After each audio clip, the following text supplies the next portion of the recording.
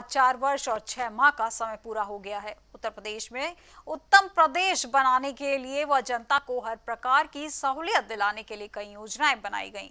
वहीं इसी कड़ी में योगी सरकार के साढ़े चार साल पूरे होने पर हमारी आगरा संवाददाता ममता भारद्वाज ने लोगों के बीच जाकर जनता की राय जानी और उत्तर प्रदेश सरकार के साढ़े चार साल के कार्यकाल से किस वर्ग को कितना लाभ मिला है इस पर जनता से चर्चा की। उत्तर प्रदेश में योगी सरकार को आज चार साल छः महीने पूरे हो चुके हैं और योगी सरकार के के द्वारा लगातार योजनाओं का दावा किया गया है कि कई यूपी सरकार के द्वारा, उत्तर प्रदेश सरकार के द्वारा कई योजनाएँ लाई गई हैं। जैसे कि जो उज्ज्वला योजना है गरीबों, गरीबी रेखा के, गरीबों के लिए मकान है, इस तरह की कई योजनाओं को उत्तर प्रदेश सरकार के द्वारा लाया गया है। तो आइए हम इस इन योजनाओं के तहत इन योजनाओं के बारे में जानने के लिए जनता के बीच आ चुके हैं और जनता यूपी सरकार से जो साढ़े चार साल पूरे हो चुके हैं, उससे कितना खुश है और क्या मानती है? किस तरह का जनता को रुझाव है जनता का कि सरकार के जो साढ़े चार साल में जनता के लिए सरकार ने क्या कुछ किया? हमारे साथ यहाँ हम मौजूद है शमशाबाद रोड पर। हमारे साथ एक यहाँ एक बाबा मौजूद है। हम इनसे बा, बात करते हैं और जानते हैं कि इनको क्या लाभ मिला उत्तर प्रदेश सरकार के द्वारा। क्या नाम है बाबा आपका? राम लगन। उत्तर प्रदेश सरकार को जो योगी सरकार है उसको आज साढ़े चार साल पूरे हो चुके हैं। आपको क्या कुछ लाभ मिला? आप बुज़ुर्ग हैं आपको क्या फ़ायदा मिला सरकार से? मुझे मकान की सब्सिडी नहीं मिली अभी तो। और भाई काम धंधे हो गए खराब। एक रुपए में पच्चीस पैसे पर काम चल रहे हैं। चौनी पर काम चल रहे हैं और बाकी काम खराब हो गए। और एक बात और है गवर्नमेंट से मतलब रिक्वेस्ट करना चाहता हूँ कि ये बैनामा जब होते हैं आदमी के तो एक एक जगह चार चार जगह दस दस जगह बैनामा करा लेता है। आदमी गरीब आदमी मारा जाता है।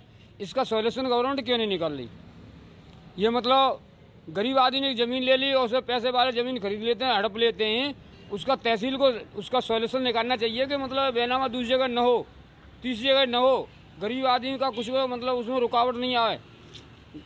क्या मा, क्या मानते हैं यो, योगी सरकार में जो मामले हैं इस तरह के घोटाले के मामले हैं जो फर्जी बाड़े के मामले हैं वो बढ़ रहे हैं? ये तो बी, जब बीजेपी की सरकार चल रही है जब भी है बसपा की सरकार थी जब भी था और उसकी सपा की सरकार थी जब भी था। ये किसी भी सरकार बंद नहीं हुआ। जिस तरह की मकान की योजना जो योगी सरकार के द्वारा की गई है जो दी गई है गरीबों को आपको क्या लाभ नहीं मिला उसका? मुझे सब्सिडी नहीं मिली है मकान की। आपको मकान की? हम्म। अच्छा तो इस समय हमारे साथ बाबा थे इन्होंने बताया कि इनको मकान के लिए सब्सिडी अब तक नहीं आई। क्योंकि जबकि योगी सरकार के चार साल छः महीने पूरे हो चुके हैं तो देखने वाली बात है कि जब चार साल छः महीने पूरे हो चुके हैं और सरकार जाने में और सरकार का जो पूरा कार्यकाल है, उसमें ओनली छः महीने और रह चुके हैं बाकी। और अब तक इनको मकान की जो सब्सिडी है, बाबा के द्वारा बताया गया कि साफ़ तौर पर इनकी अब तक सब्सिडी नहीं आई है। हमारे साथ यहाँ एक युवा मौजूद है, हम इनसे बात करते हैं और इनको रोज़गार का किस तरह से लाभ मिला, क्या कुछ इनको रोज़गार मिला? क्या नाम है आपका? मैडम, मेरा नाम पवन है। तो जिस तरह आप युवा हैं तो योगी सरकार के आज साढ़े चार साल पूरे हो चुके हैं। आपको क्या कुछ लाभ मिला नहीं मैडम कुछ नहीं हमारे नहीं आता कहाँ तक है हमारे पास? आता ही नहीं है मैडम क्या करें? अब तक तो आपको कोई रोज़गार नौकरी ऐसा कुछ नहीं मिला? कुछ नहीं मैडम आधार कार्ड ले लेते हैं बैंक की पासबुक ले लेते हैं और पता ही नहीं लगता दे रहे हैं कल दे रहे हैं आज दे रहे हैं आज ऐसे चलता रहता है। एक महीना हो गया मेरा तो जमा गाँव के प्रधान पे। मतलब प्रधान जी के द्वारा भी अब तक कोई राशन कार्ड इस तरह का कुछ भी नहीं हुआ आपका? नहीं नहीं मिलता है मैडम राशन तो मिलता है हमें हर महीने मिलता है। अपने भैया हैं उनका नाम नरेंद्र उपाध्याय रजरी गाँव में। और हमारे रवि प्रधान जी हैं और मैडम उन्होंने ले तो रखा है लेकिन कहती हैं कि अब मैडम होती है दिन देरी अब कुछ अभी तो हमें कोई लाभ नहीं मिला है। साढ़े चार साल पूरे हो गए हैं अब और कितने दिन का इंतज़ार है? नहीं मिला मैडम। आपको कुछ नहीं मिला? हमारे साथ यहाँ एक युवा और मौजूद है हम इनसे बात करते हैं और इनको क्या कुछ लाभ मिला इनको क्या मिला या नहीं मिला इनसे बात करते हैं। जितेंद्र। योगी सरकार के साढ़े चार साल पूरे हो गए बाकी के छः महीने सरकार के कार्यकाल के रह गए हैं बाकी आपको क्या कुछ लाभ मिला? मैडम लाभ लाभ जैसे शब्द तो मैं एकदम सिर्फ़ किताबों में ही अच्छे लग रहे हैं। बीजेपी सरकार के साथ जो इसको लाभ को जोड़ना शायद ही एक बेमानी होगी मेरे ख्याल से। बेरोजगारी बहुत बढ़ चुकी है। सरकार के पास कोई भी इंतज़ाम नहीं है। हर चीज़ में फेल है बीजेपी सरकार। सिर्फ़ कागज़ों तक ही सीमित है। बेरोजगारी ले लीजिए या किसी भी स्तर पर ले लीजिए शिक्षा के स्तर पर ले लीजिए किसी भी स्तर पर ले लीजिए पूरी सरकार बिल्कुल फेल है। सरकार के द्वारा तो इस तरह के होर्डिंग लगाए जा रहे हैं। यू- योगी सरकार बेमिसाल साढ़े चार साल बेमिसाल। मैडम मैंने आपसे पहले ही कहा कागजों में। ज़मीनी स्तर पर उसका कोई भी महत्व नहीं है। किसी भी इंसान से मैं क्या यहाँ पे जितने भी लोग खड़े हुए हैं आप कहीं भी चले जाइए। कोई भी वरना ये कह दे कि मैं खुश हूँ। तो क्या क्या सड़कें भी नहीं बनाएँगी? सड़कें योगी सरकार के द्वारा कहा गया था कि गड्ढा मुक्त होंगी। तो क्या कहना चाहेंगे? मैडम बिल्कुल गड्ढा मुक्त होंगी। हमारे पास में ही मारुति सिटी रोड है। इसमें आप चले जाइए गड्ढा मुक्त तो देख छोड़िए। पूरा गड्ढा ही है रोड ही नहीं है। रोड ही गायब हो चुकी है। क्या क्या कहना चाहेंगे? क्या रोड गड्ढे में रोड है? जी नहीं। गड्ढे में रोड में गड्ढा नहीं है गड्ढे में ही रोड है। आपने बिल्कुल सही कहा सिर्फ़ गड्ढे ही मिलेंगे आपको रोड जैसी कोई चीज़ है ही नहीं वहाँ।